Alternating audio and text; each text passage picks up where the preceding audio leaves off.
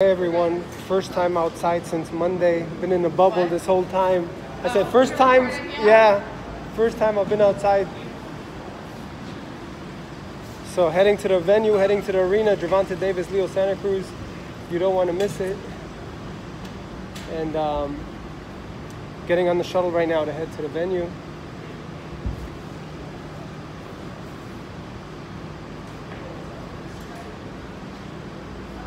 And I'm excited, guys. It's going to be a big, big fight, big event. Gervonta's first uh, pay-per-view.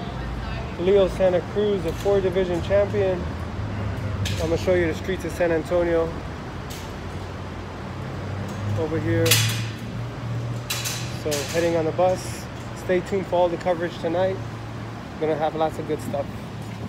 So there you have it. ES News reporting, I'm Elie Seckbach reporting. First time outside since Monday. It's crazy. I'm never home for more than five minutes, but I've been in this hotel.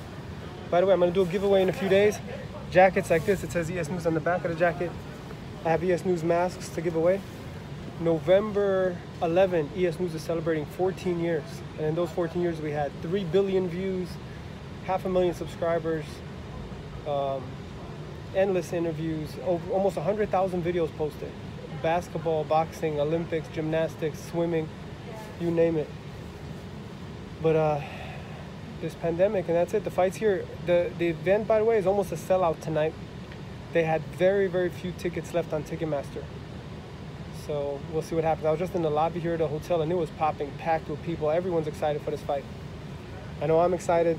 Two belts on the line. Gervonta Davis, one of the most popular fighters in the world.